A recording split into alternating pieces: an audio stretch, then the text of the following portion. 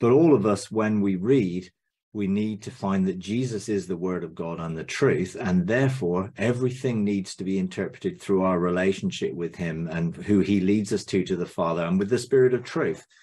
Therefore, the more you know God, the easier it is to measure that which is written and does it align with the heart of God? Does it align with love? Because you know love, you know unconditional love. Therefore, when the Bible says something that doesn't measure against unconditional love, that's what I use as my measure stick.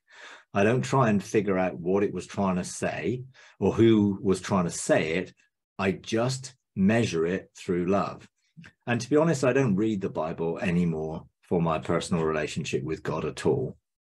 You know, that's not the way I function in that way. I talk to God, I have a relationship with Him, I have a relationship with Jesus, the Word of God. And in that relationship, that reveals the truth to me that I need to know at any point in time. And when we read the Bible, we have to read it in the light of Jesus. Jesus is the fulfillment of all in the Old Testament. Now, some of the things in the Old Testament are allegorical, they're symbolic, they're meant to convey a message. They're not supposed to be taken literally. Obviously, some of it's poetry. You know, not supposed to be taken all as a literal account of what happened, but something that can be used to illustrate something in the spirit in our life, which can help. And the Holy Spirit can take us into all sorts of deeper levels of that if chooses. But I don't read the Bible for that. I engage with God and I talk to Him and I have a relationship with Him. I use the Bible a lot in reference with other people because other people need that reference point so I talk about the differences and how the Bible might not say what they thought it said, and the translation or the interpretation of it has come through often confirmational bias, and it's very difficult. And we've got 40,000 denominations all quoting the Bible as their source of truth and all disagreeing with them, each other. So it's not a good place to start. The truth, Jesus is, I don't believe God ever intended us to have the Bible as, in its current form to try and uh, get understanding of God through that book when we have understanding of God through Jesus, uh, the Spirit, and the Father in relationship. So ultimately, as we get closer and more intimate, we find that the Father will lead us and to knowing his heart, showing us his intentions, and then we'll just outwork his intentions every day without needing to use the Bible. It isn't infallible because it isn't the word of God it contains some words that God said, and it contains some words that people said God said and weren't things that God said. So I think ultimately the Bible didn't exist when you know Paul wrote to Timothy and talked about in 2 Timothy 3:16 that all scripture or all inspired writings are useful for. Well, that's absolutely true. All inspired writings are useful for the things that they were intended for, but that doesn't mean that the Bible, which wasn't written in it that form at that time was what it was talking about. That's a that's a, a mistake, isn't true. That was 300 years or more before they actually produced a Bible.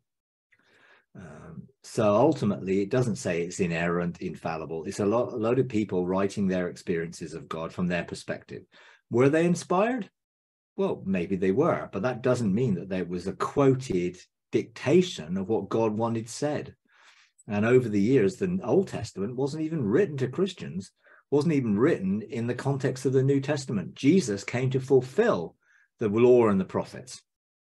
So I think we need to focus on Jesus, focus on the truth, allow him to lead us, direct us every day, um, so that we don't need to start with the word of God. If anyone came into a relationship with God today, I would not give them a Bible or encourage them to read it. If God asks them to get a Bible and read it, that's a different matter. But it's the conditioning of church. You must have a Bible. You must read every day. You must pray every day. You must get to know God. Well, spend time with him. Jesus didn't say, My sheep will read my book. Jesus said, My sheep will hear my voice. So let's focus on the relationship of hearing his voice. And therefore, we won't get caught up in things that we need, uh, don't need really. There's, there's, we can be guided by the Spirit. We don't need a book to guide us in the transition that they were going through in that period where the Gentiles were, were entering in one new man in Christ, that whole dimension, they needed help to understand what was happening. Why were they being persecuted? What was going on? is Jesus going to help us? Which is what Paul did. And also in terms of they didn't understand, they needed a lot of help in understanding um, to help them come to that place of relationship and rest. And Paul gave them letters, but he didn't want to, us to be reading those letters today to try and figure out what he was saying to us today, because he wasn't saying it to us today. Now, of course, there's truth in there, which is universal truth, which is wonderful. And from that perspective, you know, if if God inspires you to read it, let him interpret it for you. But let love be the key that gives you the overall framework for it.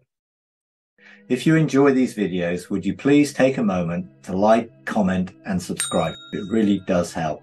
Thank you very much.